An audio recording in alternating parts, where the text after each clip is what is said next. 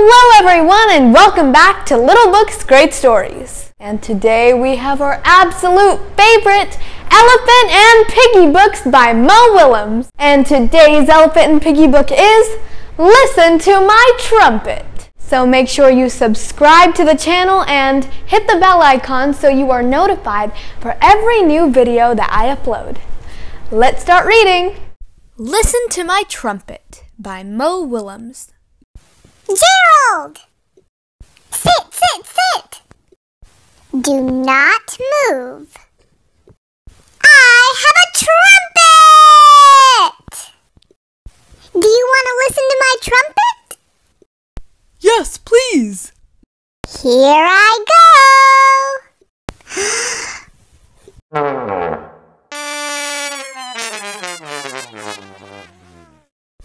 Wait, that was not right. Not right at all.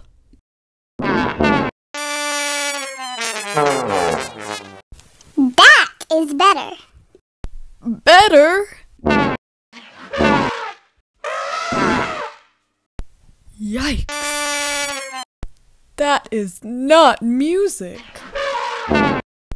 Piggie sounds like my Aunt Molly with a cold. And now the big finish!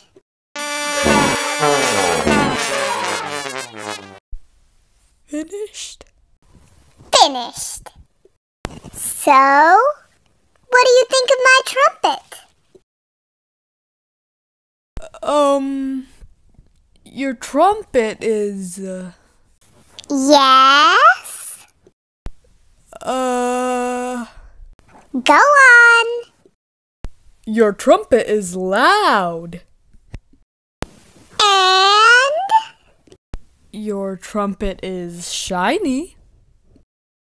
and You, uh, hold your trumpet very well.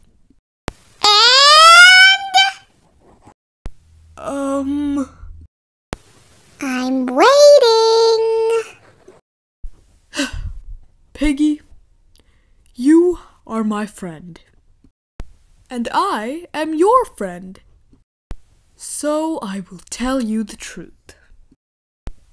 Your trumpet is loud and shiny, and you hold it well.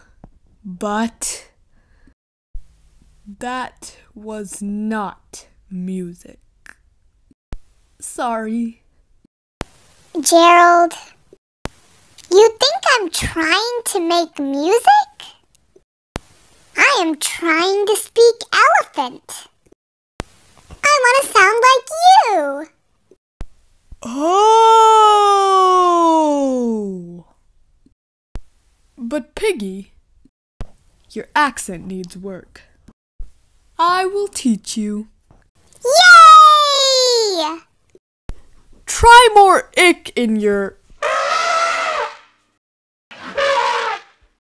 Thank you so much for listening to today's Read Aloud. Please come back again next week for another great story here at Little Books Great Stories.